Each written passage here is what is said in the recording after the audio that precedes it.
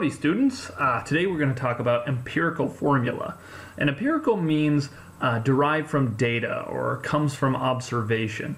And we use empirical formula calculations to basically do the opposite of percent composition uh, calculations, uh, where we've taken data, we figured out how much of each element we have, and we use that to figure out the formula of the compound we just analyzed. So let's figure out how to do that. Uh, an empirical formula really means the smallest whole number ratio of atoms in a compound. Uh, we're going to talk later about molecular formula because the empirical formula doesn't always have to be what it is, uh, the actual formula. With uh, especially organic compounds with carbon and hydrogen in them, there may be many more carbons and hydrogens than just that smallest ratio. And what do we mean by that? Uh, C2H6 uh, is the the formula for uh, ethane. And uh, but but really, the empirical formula for that uh, can reduce all the way down to CH3, and that's what we would get out of a lab. The empirical part of this is that we would get CH3 out of a lab. We would we would analyze it, see how much carbon we have, see how much hydrogen we have, and do these calculations to figure out we'd get CH3. Again, we'll get into molecular formula later. Uh, so there's a little poem that helps us remember how to do these calculations. And it goes percent to mass, mass to mole, divide by small, and multiply till whole. It's a lovely little poem. Uh, it even rhymes. Uh, but let's talk about what that actually means. So the percent to mass means figure out the mass of each element in the sample. Um, and if we have that percentage, what we do is we assume that the sample is 100 grams. That way the percentages equal their masses, and that makes it really nice. If it's 75%, then that's 75 grams of the sample. And we're going to use that, uh, that grams, that mass, to go mass to mole, where we calculate the moles of each element. This gives you the uh, mole ratio, but it's not going to be uh, perfect. It's not going to be nice numbers due to fractions. So then we divide by the small, uh, divide the moles, the all of the moles by the same number, the smallest number.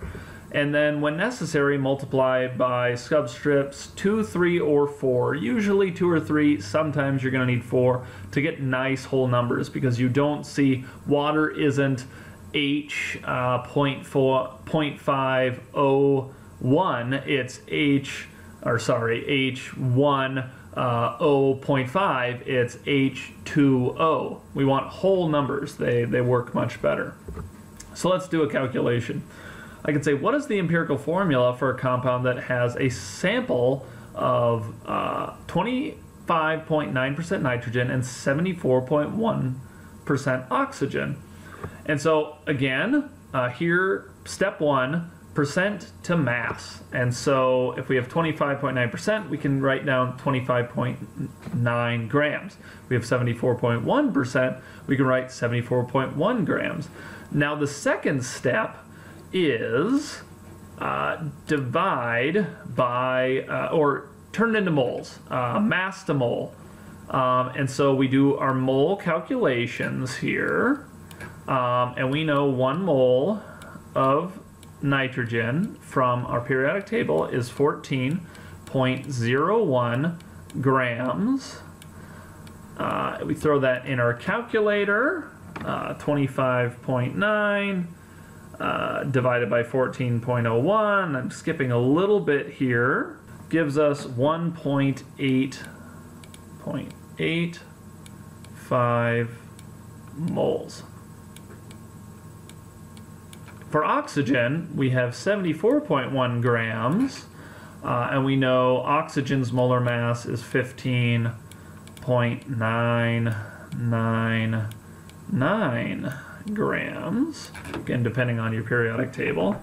So we do that math, and we do 74.1 divided by 15.999, and that gives us 4, and that's equal to 1 mole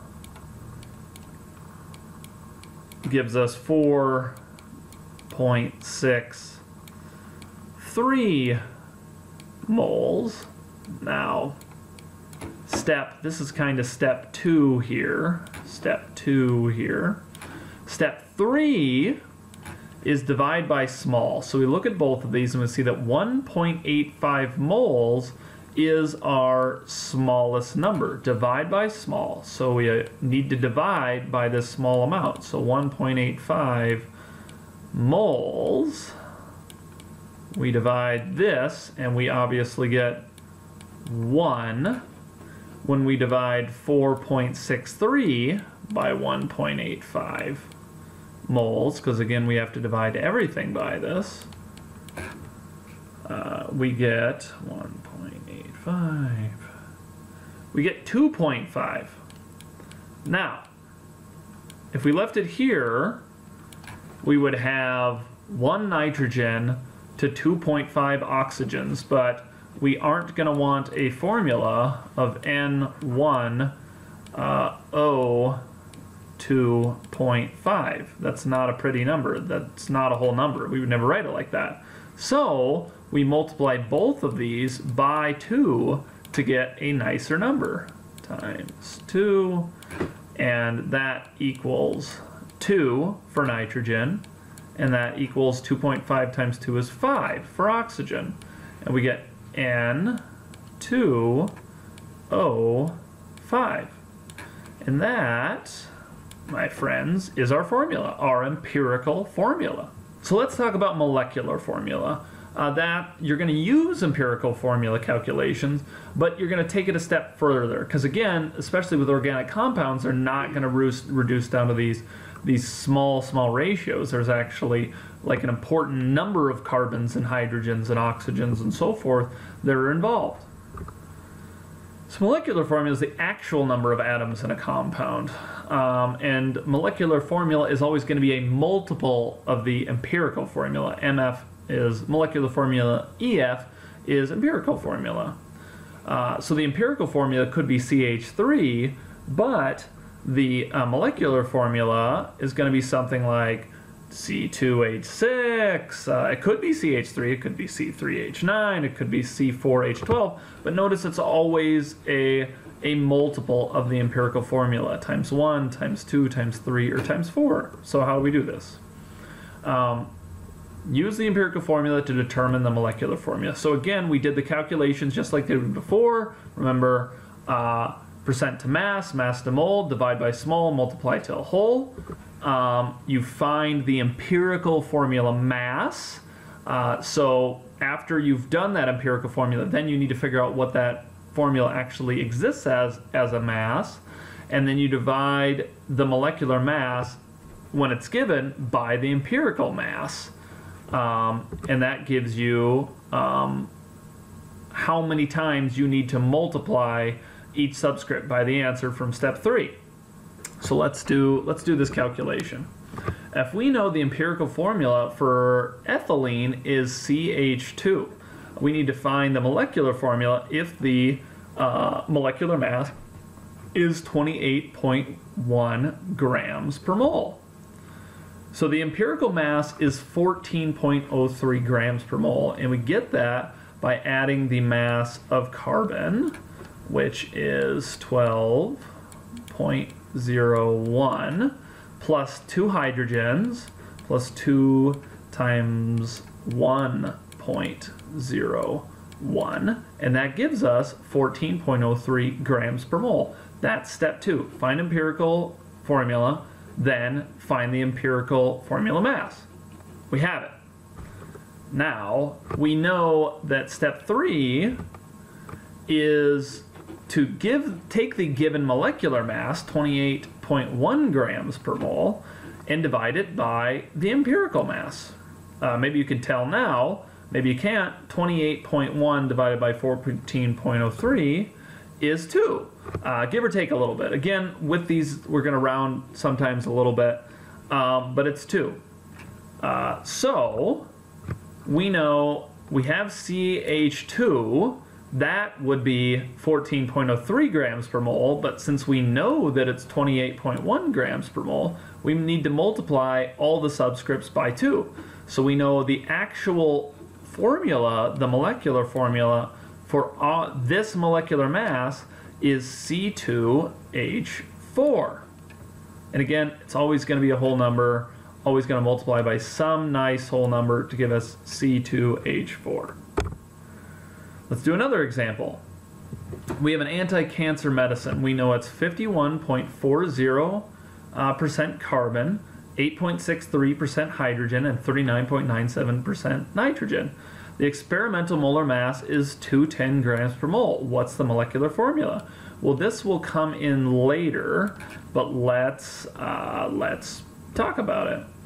Um, here's our answer. Let's figure out how we get there. So we'll take 51.4% carbon. So we again know percent to mass, 51.4.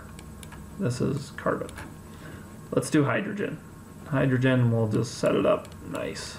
Hydrogen is 8 point, and this is grams, 8.63 grams. And nitrogen we'll put down here. First space is 39.97 grams. So, percent to mass is done.